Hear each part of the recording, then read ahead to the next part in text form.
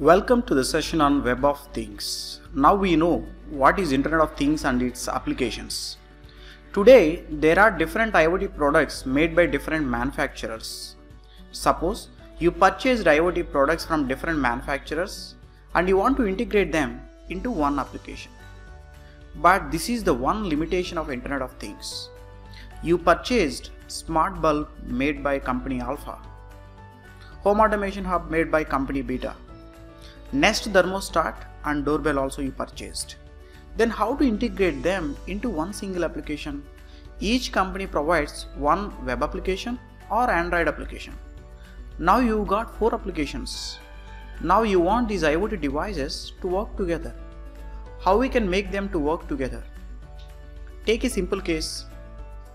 Shop manager wanting to combine their security cameras with RFID gates so that he can create more secure system. Here the solution for solving this problem is Web of Things. Because sensors alone is not a valuable IoT device or actuator alone is not valuable. Integrating them into one application and making them to work together adds more value to IoT products. So value addition is purely based on web of things because you are making things work together. Web of things is a concept to integrate IoT devices into a single web application. The web of things is a refinement of the internet of things by integrating IoT devices not only into the internet but into the web architecture. Web of Things is a application level protocol.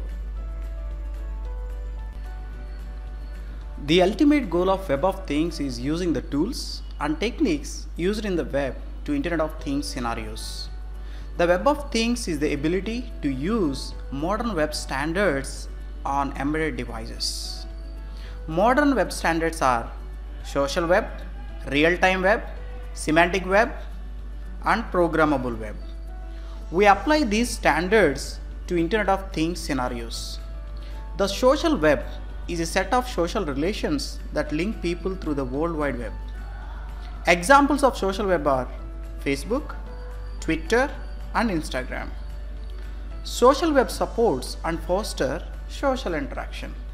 Suppose take an example Facebook where people can share and post their feelings their views images and we do a lot of things okay it makes us to interact now we use these standards with iot once integrated your iot devices can interact with social web for example iot devices tweet sensor data control iot devices using facebook messenger and you can do lot more next applying standards of real-time web on Internet of Things.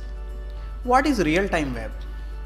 A real-time web is one where information is transmitted instantaneously between users and the server or between users and the user. By integrating IoT devices with real-time web app, IoT devices can send data almost instantaneously. This enables real-time data monitoring and processing. Example for real-time uh, web is real-time IoT dashboard. Next, applying standards of semantic web on Internet of Things scenarios. What is semantic web? The semantic web is an extension of the World Wide Web through standards set by the World Wide Web Consortium W3C. The goal of semantic web is to make internet data machine readable. Semantic web standard helps to model and integrate data from different IoT devices and sources on the web. Semantic web standards are microdata, JSON LD, that is JavaScript object notation for linked data, schema.org, RDFA or here RDFA is resource description framework in attributes and link headers. We can apply these standards on Internet of Things scenarios. Next, we are going to see about programmable web standards and we will try to apply programmable web standards on Internet of Things scenarios. What is programmable web? Programmable web standard helps to design IoT platform to scale your IoT devices integration and also you can scale up your application development. Programmable web standards are REST. REST means representational state transfer based APIs.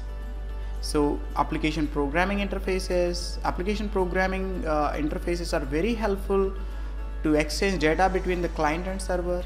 And JSON, JSON is JavaScript object notation and mashups and web services.